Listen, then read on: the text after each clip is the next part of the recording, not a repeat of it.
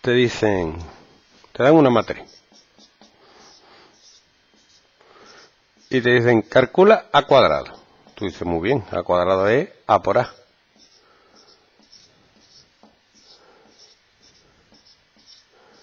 Eso sería 0 por 0 va 1 por 1, 1.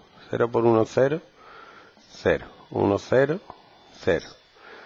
1, 1. ¿Vale? Y ahora te ponen, calcula a elevado a 2013. ¿Qué hago? ¿La multiplico 2013 veces? Profe, esto está mal. Esto está mal, profe. Ahí no puedo poner 2013. Sí, sí, sí, sí, pone 2013. ¿Y lo tengo que hacer? Sí, sí, sí, sí, lo tiene que hacer. ¿Cómo lo hago?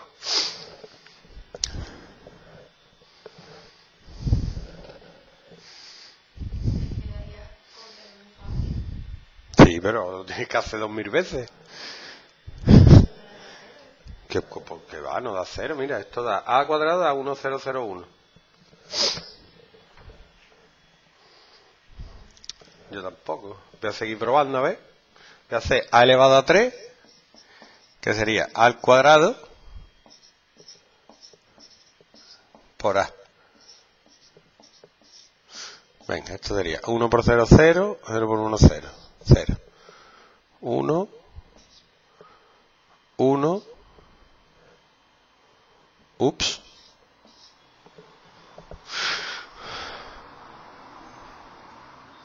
Hago a la cuarta. ¿Hace falta?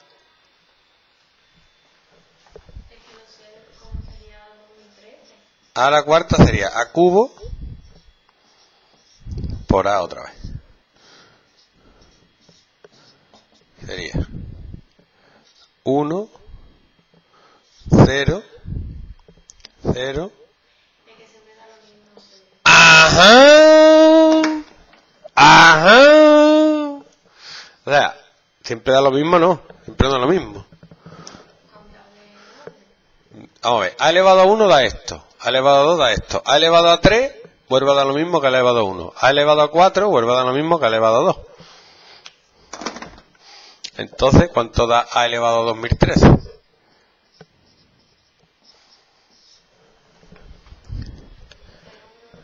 Ajá. Y pues calcular lo que te dé la gana. ¿Y a elevado a 2014 cuánto sería? Ajá.